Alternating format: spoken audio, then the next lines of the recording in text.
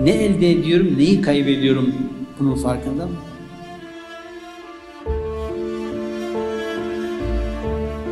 Birkaç trilyon para gelseler, bize verseler, bana verseler, size verseler, haram para. Al kardeşim.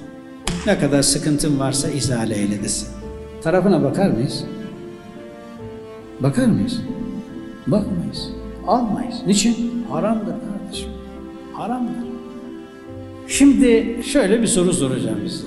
Elhamdülillah Kur'an'dan, sünnetten, sohbetlerden aldığım kültür sebebiyle siz de öyle olduğunuzu düşünüyorum.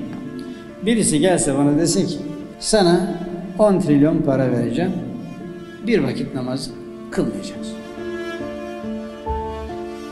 Vallahi de billahi de dünyanın tamamını verseler bu teklifi kabul etmem.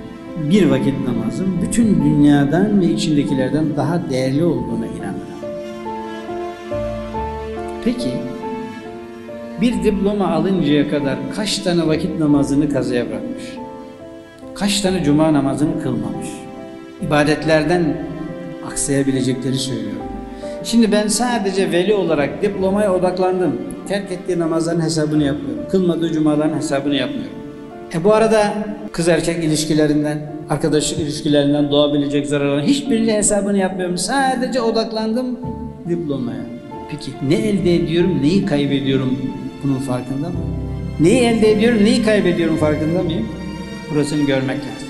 Burasını görmek için iman gözlüğüne ihtiyaç vardır.